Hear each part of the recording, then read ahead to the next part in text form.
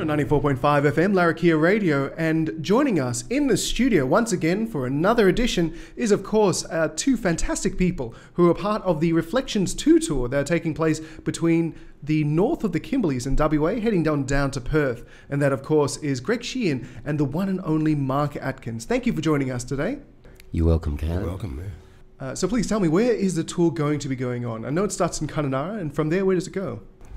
Yeah, we start off in um, Kununurra, and then um, Kununurra, I mean, and then uh, our last gig is in um, in Perth. Anyway, there's a lot in between there as well. So maybe Greg can handle that.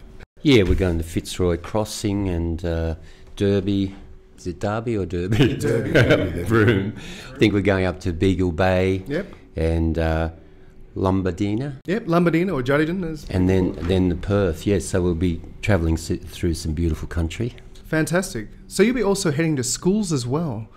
Uh, Yeah, we're going out to um, a lot of the uh, well, a few uh, communities, um, which is always um, one of my favourite parts of it as well. You know, just going there and um, seeing the kids and that, and seeing their faces and their eyes light up when uh, you know we're there, the meet and greet sort of thing, which they don't get a, real, a lot of chance to see.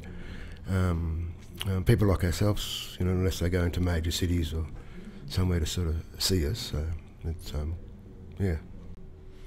I've done a lot of um, work in uh, mostly central desert, and working in communities um, with music with the kids. And one of the things I thought I should bring along this tour is a whole lot of toys, kids, kids toys, and they absolutely love it. So should be fantastic on that sense. The G tour.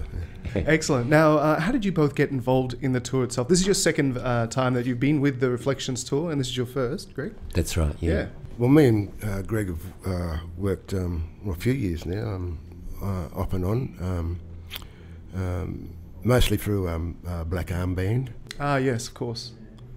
Uh, traveling with the Dirtsong. Yeah. Yeah, and that's all. And uh, yeah, the uh, Tos who uh, manages the whole thing, and it's his his uh, his baby, so to speak. He he was I gonna uh, he knew Mark and um, and knew of me, I suppose. And um, yeah, so this is my first time. I'm re- so excited about it, and um, especially travelling with um, Steve Pigram too, because it's going to he's a great storyteller Yeah, for sure. and just sitting in the Always four wheel drive, driving through his country, and he's telling us some stories. It's going to be a fantastic yeah, experience. Stephen loves to talk, that's for sure.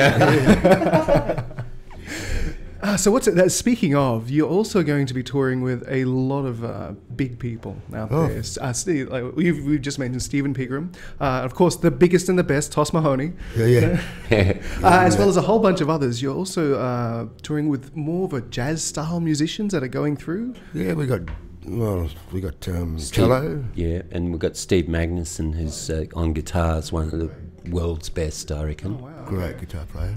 And a couple of classical musicians. Yeah, cello, violin. So it's uh, very eclectic. We're having our first rehearsals tomorrow, but we're also I thought we already had it. But we're also uh, going to be uh, uh, collaborating with some local musicians on the way, which is going to be really exciting. That's amazing. And it might be, um, yeah, it'd be really on the edge of your seat sort of thing because we might go into a community, meet someone, have a little collaboration, work out what we can do, and then um, that's it. We do a concert that night. So it can be a little perilous, but it's exciting. Oh, fantastic. Now, the, the big question I do have to ask about that is how do you actually come up with the idea to incorporate different stylings into using a didge? Well, yeah, I mean that's that's what I've loved about it, I suppose. Um, I mean, uh, originally I was uh, I was um, well, 30 years ago I was sort of getting into traditional sort of style and that, and then um, uh, I said to my uncle, you know, um, what can I do to sort of change it, you know, like without having to go out and play traditional pieces and have permission to play them and that. And well, he just sort of said to me, he says, well, just change it, boy. So, and my background then was um, I was playing in pubs and clubs since I was 14. Um, you know, my misspent youth playing, um, I was just a rock and roll drummer. So um, a lot of my uh, developed my sort of didge style, I suppose, just from from that. And but, but playing in bands and, and working with um, other musicians and that and different uh, genders or styles.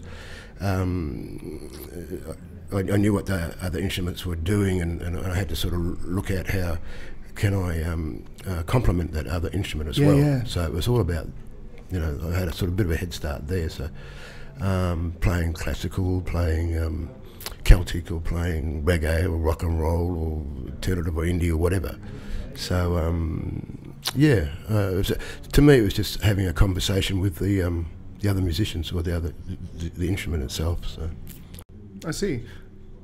Uh, and for yourself, what will you be bringing into the tour as well, Rick?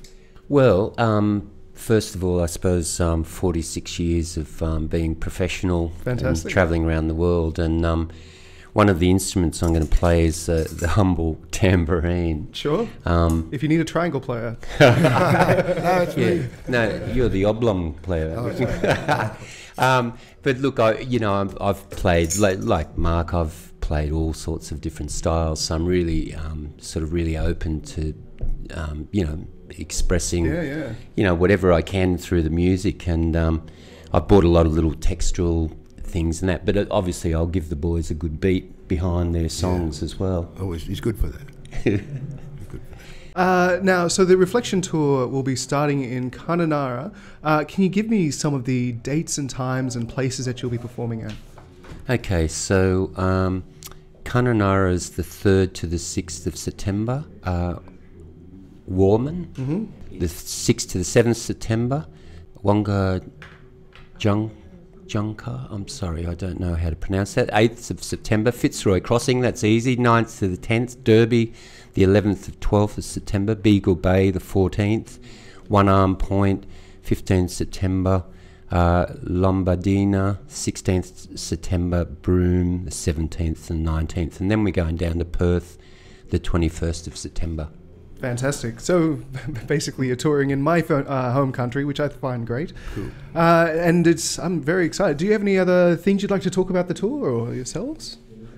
Um, no, well, for me, um, uh, I'm just looking um, looking forward to it, you know, and um, um, and most of these musicians I've, I've, I've played with, uh, I shouldn't say most, is, um, uh, oh yeah, most of them, I, will say, yeah. Most of them, yeah. Um, so yeah, I'm really myself um, looking forward to it, and and it's and it's good because uh, I'm you know I'm doing a um, you know, sort of reinventing myself again, sort of thing, sort of um, doing some writing and sort of narrations and songs. So to get back out that country again, because it's close to home for me too, um, uh, is going to be inspiring, and, and hopefully I can you know write and finish some um, stuff. Yeah. Excellent. And for yourself? Yeah, well, I just wanted to say that when I was a kid, I saw a drummer when I was only two, and I thought he was a magician. And I wanted to emulate that. I actually got home and broke a couple of twigs off a branch and turned a bucket upside down, and I haven't really stopped. And so I love the feeling of going to communities and then um, hopefully inspiring some of the kids and uh, To break sticks and stuff. eat a few buckets. Yeah. no, I, I, I, uh, I completely sympathise with that. I love the idea of uh, getting children out there to learn Yeah. new things and uh, understand how music works in a different capacity. It's, al- it's not always just instruments. You can always start very small. Mm. Yeah. And they can also see the joy of it. Like Oh, we yeah. have so much fun. We're passionate, and that passion also brings joy. Fantastic. Uh, now, I do have to ask one thing before we head off and uh, set up for uh, a song that you'll be playing. Um, is uh, what is next after the Reflections tour for both of you? Uh, well, um, for me, um, oh, I'd like to just sort of kick back a little bit and, um, uh, as I was saying before, uh, record um, some of my new stuff. Oh, wow. So a new album we, we can expect? Yeah, yeah, hopefully. Yeah. Excellent. Uh, you'll have to come in and bring it in. We'll be happy to play it on air. Well, I'd love to. Yeah. Fantastic. Uh, and yourself, Craig? Um, well, I live in Mullumbimby, northern New South Wales, and there's a beautiful festival that happens each year. And um, I'm actually, I've just started collaborating with this wonderful uh, Samoan Australian fellow called Bobby Alu, or Charles Wall's his real name. And it's two percussionists, and we just played at a festival and it went so well. So we're going to be doing that. The last festival we played at was at Bellingen in northern New South Wales. And Okay, yeah, yeah. I was a very busy man. Over three days, I did 18 gigs. I know too many people. They say, Greg can come up and play with us. So thank you very much. And uh, ladies and gentlemen, please don't go anywhere. You'll be listening to Mark Atkins and Greg performing live in the studio in only a few moments.